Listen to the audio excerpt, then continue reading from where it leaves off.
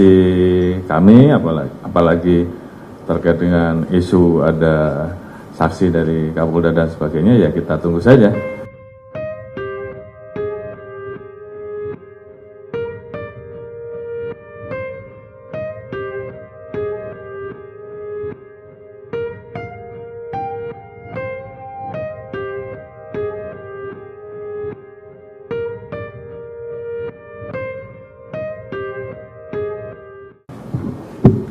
Izin saya kira menambahkan bahwa seluruh rangkaian tahapan mulai dari penghitungan yang ada di wilayah di level BPK naik sampai dengan KPUD dan KPU tentunya ini setiap hari dipantau.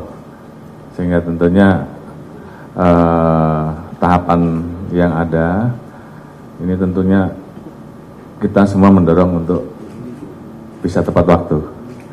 Tentunya selesai daripada penghitungan tersebut, tentunya ada mekanisme selanjutnya terhadap yang tidak puas dengan hasil, yang kemudian dibuka ruang untuk mengajukan gugatan PHPU, baik sengketa yang membahas tentang pilpres maupun yang membahas tentang pileg. Tentunya berbagai macam isu uh, akan dibawa dan ruang itu dibuka di uh, eh, MK.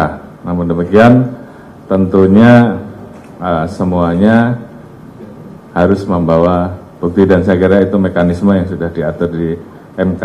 Kemudian pertanyaan yang terakhir tadi tentunya posisi kami apalagi, apalagi terkait dengan isu ada saksi dari Kapolda dan sebagainya ya kita tunggu saja.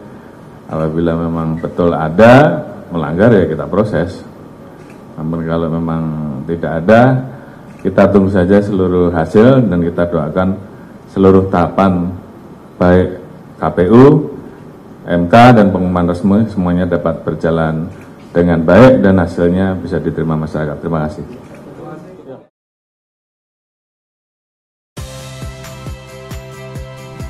Saya Audrey Chandra. Saksikan program-program Kompas TV melalui siaran digital, pay TV, dan media streaming lainnya. Kompas TV, independen, terpercaya,